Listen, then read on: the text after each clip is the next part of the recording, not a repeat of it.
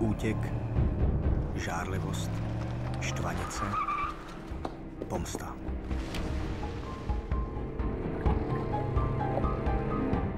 Svatý Martin. Příběh o vášni měnící se v posedlost, o vztazích, které se dají koupit. O pastech, z nichž není úniku. Ze mě nebyla dělat nebudeš, ty krávo!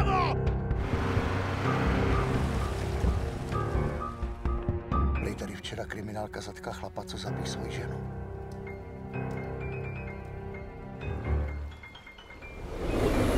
Cože? Zdánlivě klidná neděle. Zdánlivě blízké cíle. Zdánlivě normální lidé. Osud je svedl dohromady a nikoho nenechá odejít zadarmo. Dora je naprosto, ale naprosto nevypočitatelná.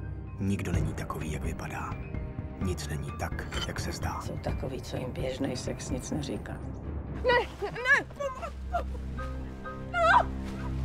S příchodem Šera se mění role.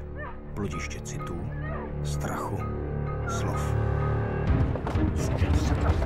Robert Jaškov, Krištof Rýmský, Jan Plouhar, Adéla Petřeková.